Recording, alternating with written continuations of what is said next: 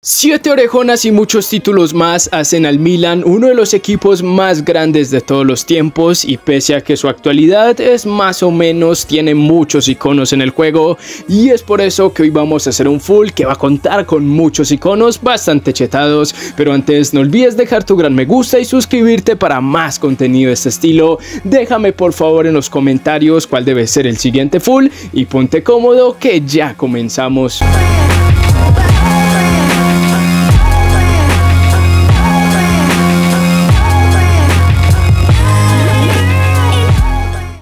Bueno chicos, para este full envase teníamos varias cartas, entre ellas el Gran Ibrahimovic en su versión que nos dieron totalmente gratis, pero en particular solo íbamos a utilizar 5 de estas, Cafú, por supuesto Rafa Leao, Teo Hernández y también lo que es esa carta de Ricardo Kaká, sin descartar a Chekchenko, que eran como las mejores cartas que ya teníamos en base para este full, las demás eran cartas interesantes, Kalulu, también estaba Brahim Díaz, pero son futbolistas que se quedaban muy cortos en términos de y ahora sí podíamos comenzar con los diferentes fichajes en cada una de esas posiciones faltantes. Ya les digo yo que tiene muy buenas cartas el Milan actualmente en el juego, pero sobre todo iconos, tiene una cantidad de iconos impresionante y es por eso que yo les digo que es uno de los mejores equipos de todos los tiempos, muchos iconos, muchos iconos de los más utilizados del juego como la Palmera Gullit. Y luego de extremo derecho no habían tantas opciones, así que nos tocó terminar fichando esta versión de Junior Mesías, es de las últimas cartas que terminamos fichando. Por acá también estaba lo que es esa versión de Sidor, muy buen mediocampista, otro de esos iconos que también se suele usar bastante, suele ser muy completo. Por aquí la palmera Gullit en una tremenda cartaza y es que Gullit en cada una de las cartas que ha sacado en esta temporada ha llegado a ser bastante competitivo. Seguíamos mirando las mejores opciones para esta plantilla, nos faltaban defensores centrales, así que no estaba nada mal lo que es esta versión de Maldini en media 112 con un precio también bastante considerable, casi los 200 millones de monedas y también fichábamos esta versión de Tomori de media 112, un Tomori que a mí en lo personal me ha gustado mucho a lo largo de las diferentes temporadas de FIFA Mobile. Luego teníamos esta versión de Mainan que ya les digo yo que me sorprendió bastante en los diferentes partidos, aunque en el gameplay no vamos a ver tantas atajadas de él. Por aquí fichábamos estas cuatro cartas de los iconos y bueno también teníamos a Tomori que claramente no es un icono, pero sí es bastante representativo en el canal. En estas cartas nos gastamos casi 500 millones de monedas, o bueno, prácticamente los 500 millones de monedas. Aún no fichábamos a Junior Mesías y la verdad es que se demoró un tiempo para fichar esta carta, algo raro porque no habían muchas en el mercado, así que fuimos incorporando rápidamente las que ya teníamos en base, también elegimos la equipación del Milan para los partidos que siempre la pecheo con la equipación. Por aquí en portería nos quedamos con esta carta de Mainan en la posición de portero, por de la Champions, que no está nada mal, tiene muy buenas estadísticas. Como lateral derecho nos quedamos con Cafú de la plantilla principal, claramente este Cafú, la verdad es que está bastante chetado, elegíamos la formación de 4-3-3 ataque,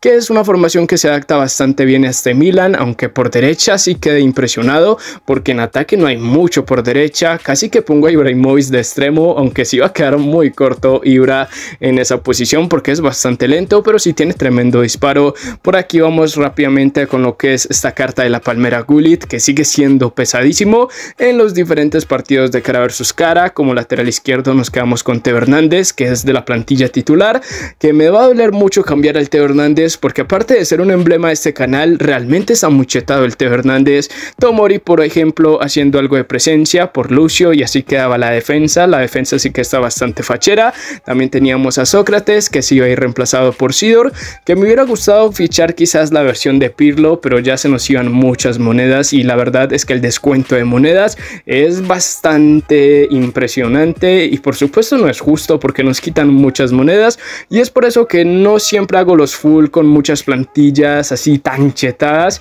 muchos jugadores así muy costosos porque en descuento no renta tanto, sobre todo porque la plantilla mía es prácticamente 100% free to play. Por acá teníamos a Junior Mesías de extremo izquierdo nos quedamos con Rafa Leao, que sí que está bastante bueno el portugués, chetadísimo en ritmo, tiro, agilidad, completísimo. Y por supuesto, Chekchenko también haciendo algo de presencia, que esta carta no tiene malas estadísticas, es media 109, pero a mí en lo personal no me gustó tanto. Más o menos lo que es esa carta de Chekchenko, al menos en el juego, las estadísticas de Junior Mesías en media 104, la Palmera Gullit como siempre siendo bastante completo, Ricardo Kaká también haciendo algo de presencia en esta plantilla, esta carta sí me gustó muchísimo, en tiro lejano, pases, está muy chetado, es de las mejores cartas que he probado al menos de momento para este full Milan, por acá Teo Hernández también las estadísticas, Pablo Maldini de los más representativos del Milan en toda la historia,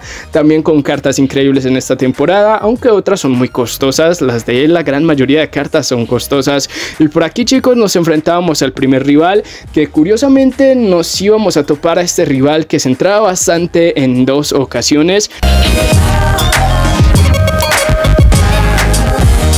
Una de las primeras chicos fue por acá donde casi que no le ganamos este partido y es que mi primer gol llegó al minuto 95 y es que mi primer gol llegó al minuto 65 por intermedio de Chekchenko, un poco criticado por mí, pero la verdad es que aquí alcanzó a marcar este tanto, pero netamente a mí no me gustó tanto esta versión, aunque es un futbolista que sí es muy representativo, pero no sé, lo noté un poco tosco y eso que la carta refleja mejores estadísticas. Y por aquí chicos nos enfrentamos nuevamente a este este rival que tenía Messi y jugadores para hacer una mejor táctica y ganarnos de una mejor manera, pero realmente tiraba muchísimos centros.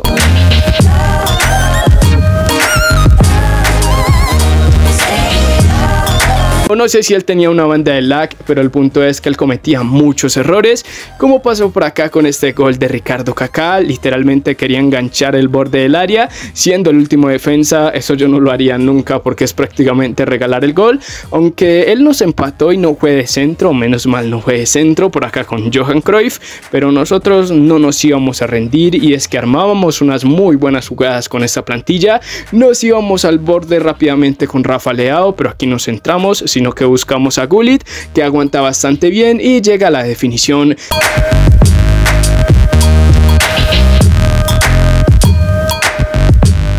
Llegamos al 2 a 1 chicos bastante rápido, él literalmente nos empató y nosotros ya le estábamos ganando nuevamente, así que eso estaba bastante bien y se iba así el partido al descanso. Y luego tuvimos la última jugada donde la armamos bastante bien y por supuesto iba a terminar en un auténtico golazo. Muchas gracias por ver el video hasta esta parte, no olviden dejar su gran me gusta y suscribirse para más contenido de este estilo, la verdad es que lo agradezco muchísimo, gracias por quedarte hasta el final. Y déjame en los comentarios comentarios cuál debe ser el siguiente full. Aquí nos despedimos con este gol de Ricardo Kaká.